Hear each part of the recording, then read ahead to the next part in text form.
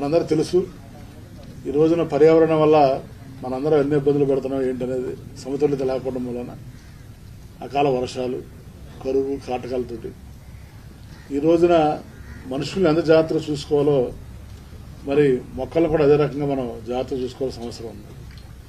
ఒకటేమో మొక్కల్ని ఉన్న మొక్కలను రక్ష- పరిరక్షించుకుంటాం కొత్త మొక్కలు వేయటం మళ్ళీ వాటిల్ని పెంచి పోషించటం. దానిలో భాగంగా ఈ రోజున మరి జిల్లాలో మనం ఎన్ని ఎన్ని కోట్లండి? మూడు కోట్ల ముప్పై మూడు కోట్ల ముప్పై ఒక్క లక్షలు.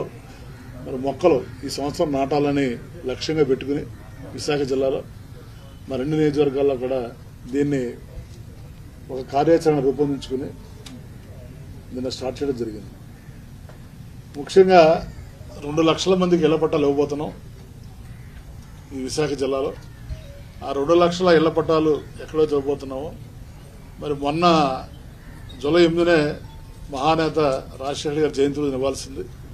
కానీ చంద్రబాబు నాయుడు గారు కోర్టులో కేసులు వేపించి వాటిని రాకుండా అడ్డుకున్నారు. ఏదేమైనా మరి ఆగస్టు పదిహేను కల్లా తప్పనిసరిగా రెండు లక్షల మందికి జిల్లాలో రాష్ట్ర ముప్పై లక్షల మందికి ఇళ్ళ పట్టాలు ఇవ్వడం జరుగుతుంది. ముందుగా ఇళ్ళ పట్టాలు ఎక్కడైతే చదువు చేస్తున్నాయో ఉన్నాయో అక్కడ ఈ మొక్కలు ఎందుకంటే ఇప్పుడు సీజన్ కాబట్టి వర్షాకాలం సీజన్ కాబట్టి ఈ మొక్కలు అక్కడ నాటిపించి ఆ మొక్కల్ని మరి పెంచాల్సిందిగా ఆ లబ్ధిదారులు ఎవరవుతున్నారో వాళ్ళకి విజ్ఞప్తి చేస్తున్నాం. ఈ మొక్కలు ఇచ్చే కార్యక్రమం నాటే కార్యక్రమం మరి సోషల్ ఫారెస్ట్ డిపార్ట్మెంట్ వీళ్ళు తీసుకుంటారు. కన్జర్వేటర్ గారు డిఎఫ్ఓలు అందరూ కూడా ఉన్నారు. మరి దానిలో భాగంగా ఈ రోజున మన ఆంధ్ర యూనివర్సిటీలో ఇక్కడ మొక్కలు నాటాం. ఇప్పటికీ కూడా విశాఖపట్నంలో మరి పొల్యూషన్ కంట్రోల్ ఉందంటే ఆంధ్ర యూనివర్సిటీలో మొక్కల పుణ్యమే. తప్పనిసరిగా ఒక ఆంధ్ర వంశంలోనే కాదు ప్రతి స్కూల్స్లో కానీ కాలేజెస్లో కానీ హాస్పిటల్స్లో కానీ ఈవెన్ టెంపుల్స్లో కానీ ఎక్కడ ఖాళీ ఉంటే అక్కడ. అలాగే పార్కులు. జీవీఎంసీలో కూడా ఒక వెయ్యి పార్కులు మరి ఐడెంటిఫై చేయడం జరిగింది ఖాళీగా ఉన్న ప్రదేశాలని. వాటిల్లో కూడా ఈ మొక్కలు నాటి తప్పనిసరిగా పర్యావరణాన్ని పరిరక్షించాలి. ఈ విశాఖని ఒక హరిత విశాఖగా చేయాలన్నదే సంకల్పం. దానివల్ల ఒకటేమో మనుషుల్లో ఇమ్యూనిటీ పెరుగుతుంది లైఫ్ స్పాన్ పెరుగుతుంది.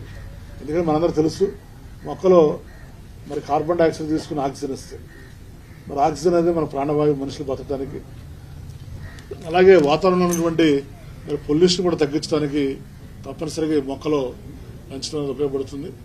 దీన్ని ఏదో ఒక ఫోటోలకి పోజ్ ఇచ్చే కాకుండా ఐవాష్ కాకుండా మరి ఒక చిత్తశుద్ధితోటి ఒక నిజాయితీతోటి అంకిత భావంతో ఈ మొక్కలు నాటే కార్యక్రమాన్ని ఫారెస్ట్ డిపార్ట్మెంట్ వారు చేయాలని దానికి ప్రభుత్వం తరఫున అన్ని రకాలకు కూడా మరి సహాయ సహకారం అందజేయడం జరుగుతుంది.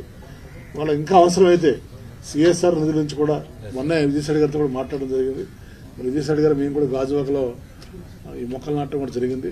అవసరమైతే సిఎస్ఆర్ నిధుల నుంచి కూడా మరి అమౌంట్ వెచ్చించి తప్పనిసరిగా విశాఖపట్నంలో ప్రతి పార్కు ప్రతి వార్డు కూడా పచ్చదనం ఉండే విధంగా తీర్చిద్దామని తెలియజేసుకుంటూ మరి సెలవు తీసుకుంటాం కూడా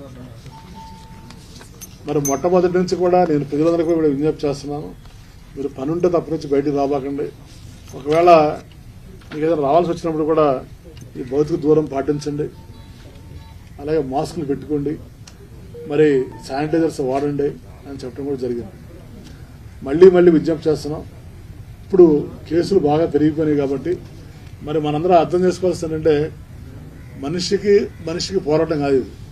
మనిషికి వైరస్కి పోరాటం మనిషికి కరోనాకి పోరాటం.